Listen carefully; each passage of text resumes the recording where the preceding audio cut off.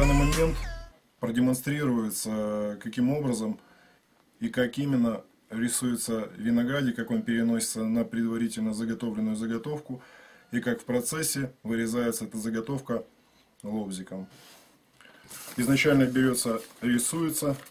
Мы в банально простом способе переносим на клееночку посредством шариковой ручки.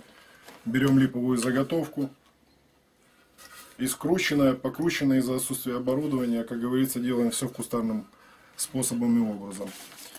На эту чистую предварительно заготовку мы накладываем перенесенный рисунок, выставляем его ровненько, берем пару заколочек, фиксируем, чтобы не сдвигалось, и начинаем процесс перерисовывания.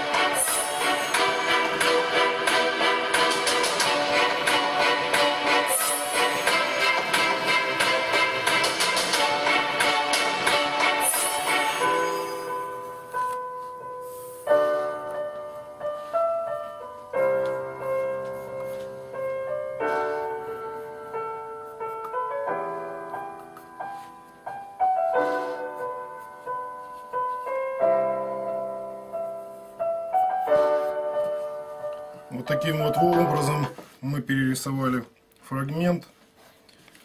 Следовательно, его взяли, подчеркнули карандашиком. В процессе он подровняется, выровняется. Выглядит он подобным образом.